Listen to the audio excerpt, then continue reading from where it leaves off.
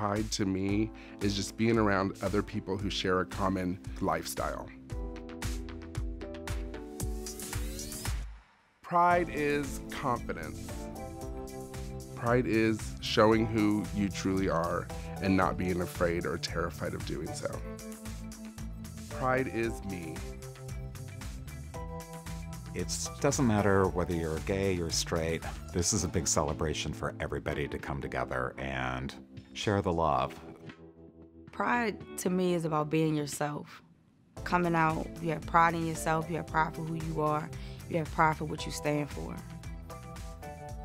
Pride is strength. It has to come within you. It's coming from the heart. American has pride.